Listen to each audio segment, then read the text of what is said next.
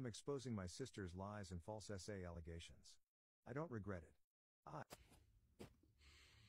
So, here we go. Another situation where a woman's willing to lie to ruin the man's life. So, go over the whole synopsis. This woman has been cheating on her husband or having an affair for the last eight months. She got found out and decided that she was going to say she was sexually assaulted and ruin this whole man's life. And that's not the worst part.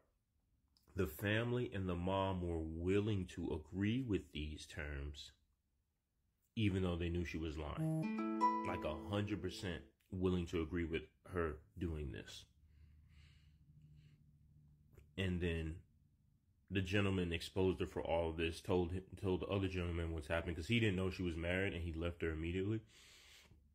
Told the other gentleman what ha- what was happening, etc., etc and his mom kicked him out the family because he said he ruined their their marriage and he needs to fix this and was all a misunderstanding. First off, shout out to you, young man, for uh putting that out there and not letting that man's life be ruined. Like that's good on you. But but I also gonna think I also think you need to talk to your dad. Because I'm pretty sure after learning about this, you've gained a whole different perspective for him and maybe why he cheated. Not saying it's right, but maybe why he cheated because for my guesstimation, your mom is not a good person to even be willing to allow this and be okay with this. She's not a good person at all, just what I see from it. But I'm gonna get on the men about this, and I'm gonna get and what I'm gonna get on about this is women are too comfortable with just lying and making stuff up about us in general. And, you know, as you can see, they're going to be believed regardless. And what we have to do is start voting. We have to start voting and lobbying for laws that will protect protect us in these kind of situations. Because that's what I keep seeing as a reoccurring thing, and I'll be the first to admit I'm not a voter. It's never been my thing. I just I have a different type of an, uh, ideology for it.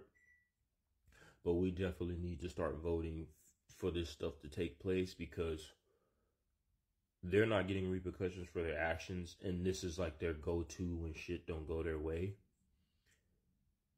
And we have to start voting so this doesn't happen because she was willing to ruin this whole man's life over some decisions she's made.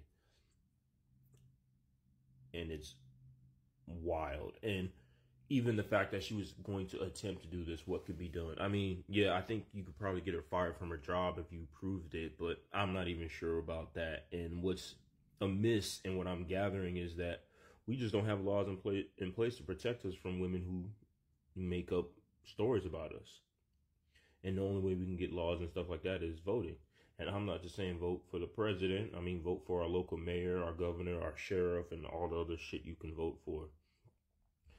So that's the conclusion I've come to. That's the conclusion I draw. I'm not a politician, but that's what it seems like it got to be. We we're gonna have to vote and get things in order in place, so stuff like this don't happen. But shout out to you, young man, for protecting that other dude.